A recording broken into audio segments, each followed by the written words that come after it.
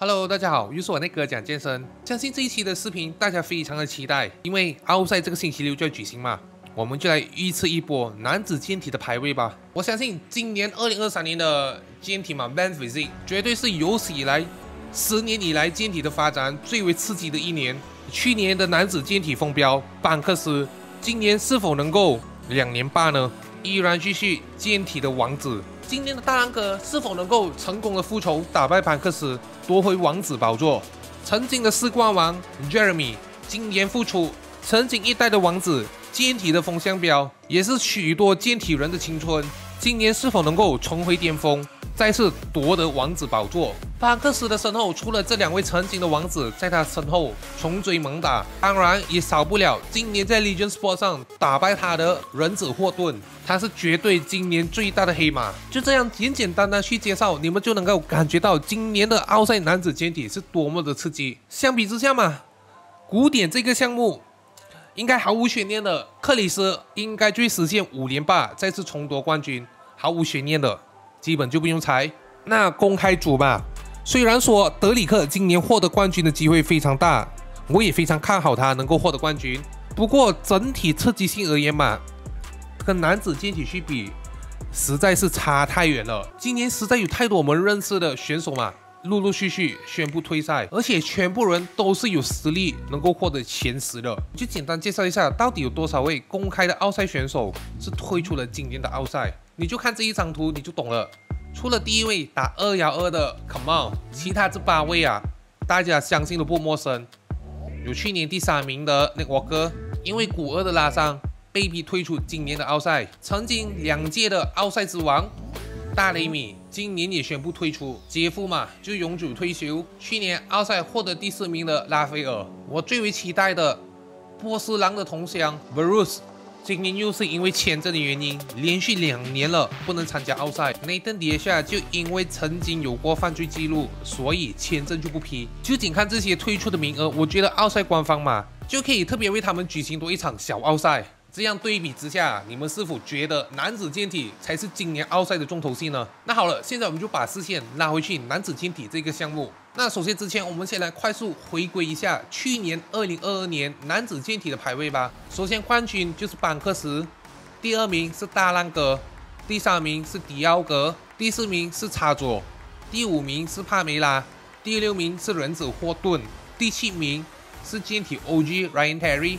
第八名是剑王莫里斯，第九名是追子感最强的阿里，第十名是对称之王安德鲁。首先，我就发表一下我的观点。我个人认为，这十位前十的去年奥赛选手，八十八线的应该会再次出现今年奥赛前十的排行榜里。我个人认为，插左嘛。就去年奥赛的第四名，他应该就是运气好才会获得如此的佳绩。今年前十的排行榜里，应该就不会再次出现他的名次。看到他比那么多场职业赛嘛，要获得前三名都非常吃力，而且状态极其不稳定。那随着插足离开前十的排行榜里，这样就多出了一个名额给我们的曾经健体之王 Jeremy，那就意味着 Jeremy 嘛。他的成绩至少会在奥赛第一梯队里前十的名额。那废话不多说，首先我们就来从第十名开始去预测。第十名我是会给阿里，阿富汗第一健体人所拿下。那去年的他是获得第九名，名次应该就不会进步到第七或第八名，因为在他前面的是曾经打败过他，无论是在去年的奥赛或者在今年的职业赛上，健体的 OG Ryan Terry 以及剑王莫里斯。锥子感依然还是联盟非常青睐的健体风标。那阿里身为当今健体锥子感最强的代表嘛，Top 十就有他一席之地。比较有趣的是，我个人认为还有一位是能够进入到前十的，也就是今年风头非常强的 CD。CD 他的背嘛，相信大家都知道，他是非常符合当今联盟的要求，独树一档鬼背的存在。而且他又曾经在一场职业赛当中打败过阿里，不过权衡了一番过后，我还是决定把第四名给阿里，是因为在我心里，我个人还是认为嘛，健体要看正面。那如果是按照去年联盟的要求嘛，C D 拿下第四名的可能性应该是比阿里更大。不不过还是那句话吧，我私心认为阿里的赢面比较大。那好了，现在我们就来看看第九名吧。第九名，我个人认为应该就会由巴西大将卡洛斯所拿下。那去年卡洛斯的成绩真是让人大跌眼镜，从原本的第七名一下子滑落到第十五名。那是因为他带出了一个非常干瘪、不饱满的状态。那今年看了卡洛斯比了那么多场比赛。基本上，他换了教练过后，他又回到了他以前那一种大框架的那一种视觉冲击力。那前十 Top Ten 一定有他的名次，一席之地。那好了，现在我们就来谈谈第八名吧。在那之前，我先给大家看一个片段。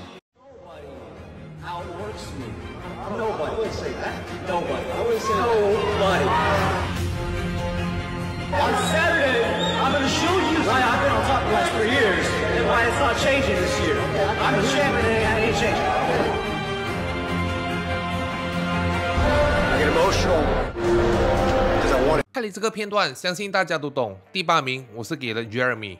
可能看到这里，很多观众会觉得气炸，都炸开了锅。那王子回归，得到冠军。绝对是一个很美好的故事结局，但是往往很多事情都不能够往我们所想的方向去发展。那今年 Jeremy 阔别了舞台有接近五年，第一次重回，能够进入到奥赛前十，已经是一个不错的成绩了。在这五年的时间里，如果我说他抱着半退休的状态以及心态嘛去训练，那。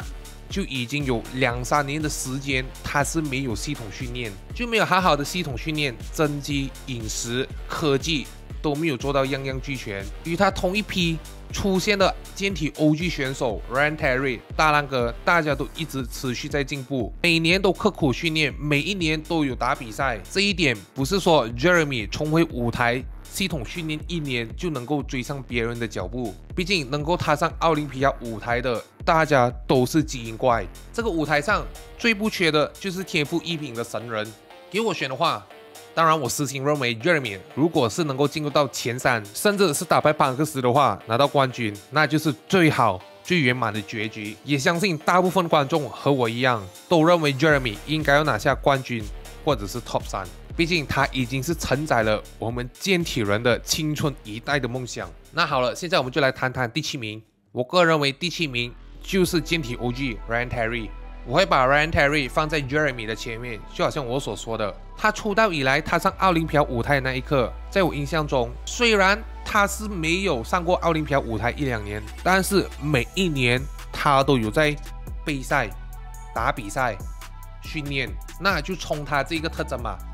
放 Ryan Terry 在 Jeremy 的前面完全不过分，而且再加上根据他的最新体态更新，那他本人也预计了，在今年的奥林匹亚舞台上，他将会比纽约职业赛的时候那个状态更加重一个八磅，也就是说他会带更多的肉量去打比赛。纽约职业赛是一百九十七磅，那奥林匹亚舞台他估计是二百零五磅，也就是九十三公斤上台。他也把他更多的精力花在练背上，他的背是他的弱点。他现在一周都训练他的背两次。那好了，现在我们来到第六名。第六名我是会给到剑王莫里斯。剑王莫里斯嘛，今年的风头非常的强，赢了很多场大大小小一级的职业赛比赛，而且在这一些比赛当中，他是有打败过健体无忌 Ryan Terry。基于这个原因嘛，我就把他的名次放在 Ryan Terry 的前面，也就是第六名。他赢了那么多场主要 A 级的比赛，而且当中的比赛又主裁当为裁判，选他为赢家。再加上副主席嘛，特地点评了他的形体非常符合当今男子健体联盟所要的需求。就基于这些原因，我把他名次从原本的第八名进步到今年的第六名。那好了，现在我们就来到 Top 五。后，我个人认为应该就是由坚体巴西新大将帕米拉所拿下。去年的帕米拉奥赛首秀就获得第五名，一个非常亮眼的成绩。今年的他比起去年更加的肉壮，形体上更加的完整，胸肌更加的厚，整体的维度也更加的大。而且在那基础之上，他又保持了他原有的锥子感，再加上他的薄腰非常不错，出色的刻度。我觉得今年的他依然是能够夺得前五的名次。出色刻度的腹肌以及薄腰，在健体里永远都不过时。因此，帕米拉重夺第五名，我是非常有信心的。那下一位获得第四名的，可能会大跌你们所有人的眼镜，那就是忍者霍顿。我懂忍者，他曾经在 Legion Sport 上打败过班克斯，但是忍者他本身就有一个很大的问题，就是他的经济状态在台上嘛极其不稳定。从过往的奥赛经历来看，他每次只要一比奥赛，他都比平常的职业赛来的更加的肿，更加的水。那在奥赛上嘛，忍者他是没有打败过班克斯的。当然，如果他是能够呈现出非常爆炸的经济状态，如在 Legion Sport 把他的腰收到非常紧，那他再次打败班克斯是非常有可能的。不过保险起见嘛，我还是放他在第四名。那第三名这一个成绩呢，相信大家都会感到非常意外，他就是来自巴西的迪奥哥。迪奥哥嘛，他就有一种莫名的魔力，让联盟呢连续把他放在第三名这个位置不动。你要说他的腹肌刻度嘛，他又少了一块，只有五块半。你要说他的锥子感嘛，他又谈不上有锥子感，不过他却拥有着非常夸张的比例 V 字感，可能就是因为这个特点嘛。联盟就一直把它放在前五那个位置，而且是稳稳的锁在前三。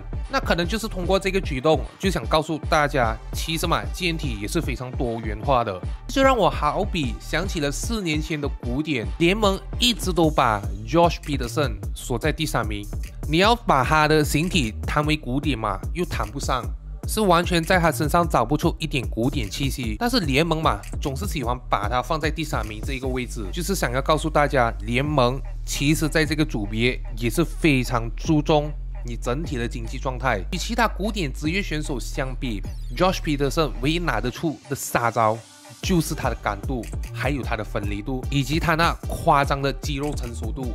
那我把迪奥哥放在第三名，就是因为这个原因，因为他在整个前十的男子健体是非常独特的存在，就是他那夸张的肩腰比。联盟就是想要告诉全世界，在男子健体里，V 字感肩腰比是非常重要的一种天赋。那好了，现在我们就只剩下 Top 二，Top 二嘛，有班克斯以及大浪哥。那大浪哥他就有一个特征，相信大家都懂，他是越战越勇的。他曾经失败的、失去的东西，他是能够重夺回来。二零一九年，他就输了给未来战士雷蒙德。当时候的他是从原本的第一名跌去第四名。从那个时候，我们就以为高个子健体的时代就从此开启。没想到大浪哥又再次杀回来，连续连霸了两次的奥赛冠军，就为他职业生涯中获得了三次的奥赛冠军。基于这个原因嘛，我觉得。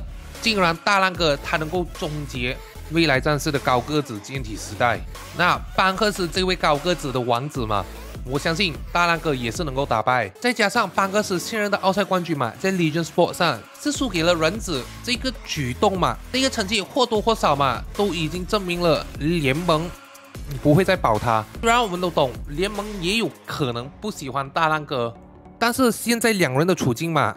非常接近，没有所谓的联盟优势的话，综合实力来看，我个人认为还是大浪哥这种短核心，正面拥有着非常强的健体感，还是非常符合当今的主流。那说到底嘛，联盟想要判给谁冠军，还是要看联盟的喜欢，捧谁做冠军嘛，其实都能说得通。捧班克斯就代表着高个子肩背的时代，捧大浪哥就是短核心。正面健体感非常强的时代，Bon Jeremy 嘛，就回归了以前主流的健体那一种感觉，保腰保腹，健体比例非常好看的肩宽细腰，Jeremy 是属于非常独树一档的存在。那如果给我选的话，这三位当中嘛。我私心当然是希望 Jeremy 能够获得冠军，因为我是非常喜欢 Jeremy 他那个体态。不过说真的，如果这一次 Jeremy 他的备赛嘛是能够找回哈尼这一位世界级的教练再次重度合作的话，对于哈尼的技术，相信大家都懂，他是绝对能够把 Jeremy 做到非常极致的状态。不过这一次嘛，没有得到哈尼的帮助，进入到前三这个概率就会大大降低。那对比。Jeremy 现在的状态与他之前在二零一七年巅峰时候的状态嘛，大家也是能够看得出那个落差。好了，今天的视频就到此为止。这个只是我个人前十的男子健体预言，如果有和我想法不一样的，都欢迎你们打在评论区，我们交流交流一下。那我们下一期再见，拜拜。